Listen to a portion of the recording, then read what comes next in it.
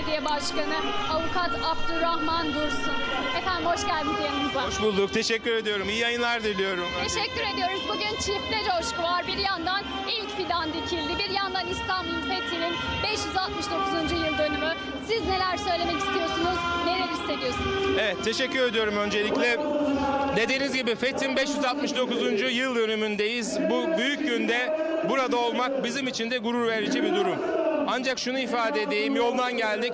Burada milyonlar var. Ancak yollarda da Basın Ekspres'te, E5'te, sahil yolunda herkes akın akın bu meydana gelmek için yollarda. Ben eminim en az buradaki insanlar kadar da İstanbullular buraya geliyorlar. Bu çok önemli. Bu hem Cumhur İttifakı'na, Cumhurbaşkanımıza Recep Tayyip Erdoğan'a desteklemek hem de burada böylesine güzel bir mekanın, Millet Bahçesi'nin açılmasının doğru olduğunu teyit olma, etmiş olmak demek.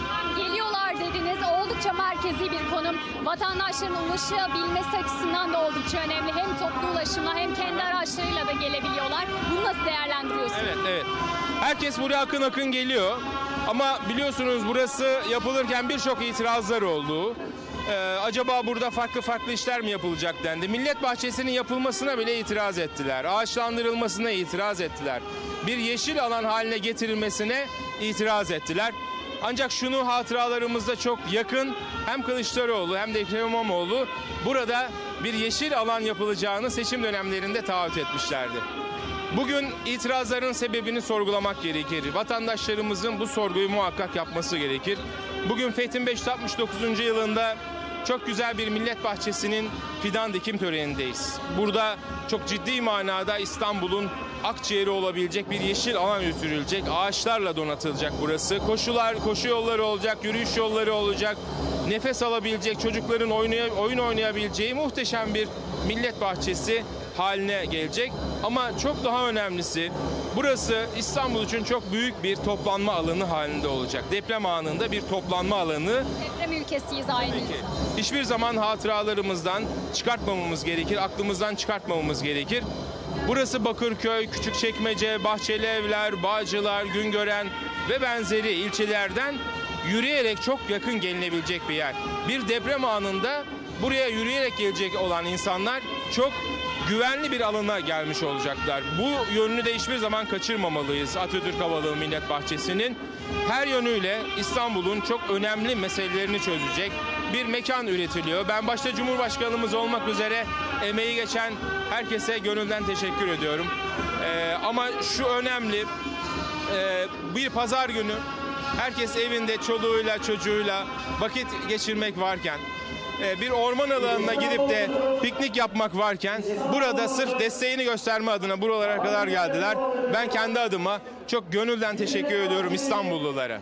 Burası tamamlandığında dünyanın 5 büyük şehir e, parkın parklarından biri olacak aslında. Bu anlamda da çok önemli. Bununla alakalı neler söylemek istersiniz? İstanbul'a merkezi konumda büyük 5 milyon metrekarelik alana e, bir 145 bin 300 ağaç dikilecek. Doğru.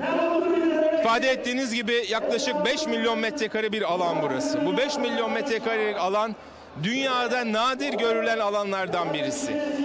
Burada insanlar rahat nefes alabilecekleri bir ortam bulacaklar. Bu koca alanı zaten İstanbul'un göbeğinde bulma şansımız yok. Tamam İstanbul'un çeperlerinde bulabiliriz. Yeşil alanlarımız bol, orman alanlarımız var. Sultan Gazi'de orman alanlarımız var. 1 milyon 600 bin metrekare orman alanına sahibiz. Ancak burası şehrin göbeği. Herkesin biraz önce ifade ettiğim gibi yürüyerek bile çok rahat gelebilecekleri bir alan ve 5 milyon metrekare içerisinde bu yeşil alan ben eminim bittiğinde herkesin koşa koşa geldiği en küçük zaman dilimini burada geçirmek için büyük gazeteli gayret gösterecekleri çok muhteşem bir alan olacak. İstanbul'a hayırlı olsun diyoruz. Esasında sadece İstanbul'a değil. Anadolu'dan, Trakya'dan İstanbul'a gelecek herkes hayırlı olsun. 85 milyon hayırlı olsun bu büyük millet bahçesi. Ee, bunu hatıralarımızdan hiç çıkartmamamız gerekir. Yapılan işleri çabuk unutuyoruz. Bakın Atatürk Kültür Merkezi yapıldığında çok büyük itirazlar olmuştu. Atatürk Kültür Merkezi'nin yıkılacağı, yerine otel yapılacağı, yerine konut yapılabileceği, AVM yapılacağı o kadar çok şey söylendi ki. Ama bugün geldiğimiz noktada muhteşem bir kültür merkezi haline dönüştü. Eskisinden çok daha muhteşem bir hale dönüştü Atatürk Kültür Merkezi. Dolayısıyla yapılan itirazların hiçbir dayanağı olmadığını gördük. Burada da bittiğinde bunu hep beraber göreceğiz ve yaşayacağız.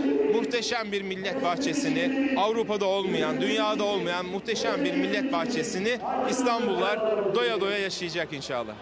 Önce siz de belirttiniz hem iklim krizi anlamında büyük bir adım olacak aslında bu ve bugüne kadar da 13 millet bahçesi tamamlandı. Ee, ve Erdoğan, Cumhurbaşkanı Erdoğan yıllar öncesinde söylemişti bu e, millet bahçesi yapılacağını. Muhalefet de sık sık çevre bilincini dile getirse de aslında bu proje bu projelere karşı çıkmaya devam ediyor. Bunu nasıl değerlendiriyorsunuz son olarak? Şimdi bunu demokrasi, hak ve özgürlükler, çevre bilinci gibi ifadeler ne yazık ki Kemal Kılıçdaroğlu ve ona benzeyen cenahta sadece bir söylemden ibaret. Bunu hayatımızda görüyoruz. Esas çevreci biziz. Hak ve özgürlükler konusunda en büyük gayreti gösteren e, bizleriz. İtirazlarının dayanağı olsa eminim herkes bunu masaya yatırır. Doğrusuyla, yanlışıyla tartar ve ona göre de hareket eder.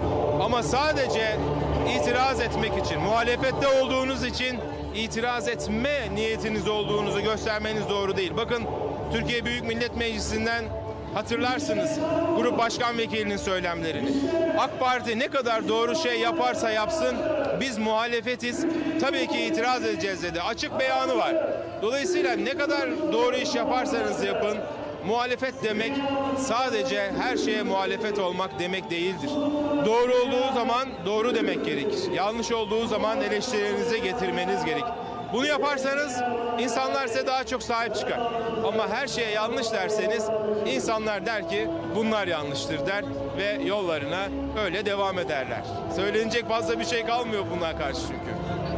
Eklemek istediğiniz başka bir şey var mıdır? Ben çok teşekkür ediyorum. Başta İstanbullulara gönülden teşekkür ediyorum. Milyonlar akın akın buraya geldi. Hem Cumhurbaşkanımıza hem Cumhur İttifakı'na desteklerini burada gösterdiler. Ve en önemlisi Atatürk Havalimanı Millet Bahçesi'ne desteklerini göstermiş oldular. İstanbullulara hayırlı olsun, Türkiye'ye hayırlı olsun diyorum. İyi yayınlar diliyorum. Teşekkür ederiz aktardığınız bilgiler için. Teşekkürler. Evet İstanbul Atatürk Havalimanı Millet Bahçesi'nin ilk fidan dikimi Cumhurbaşkanı Recep Tayyip Erdoğan'ın katılımıyla gerçekleşti.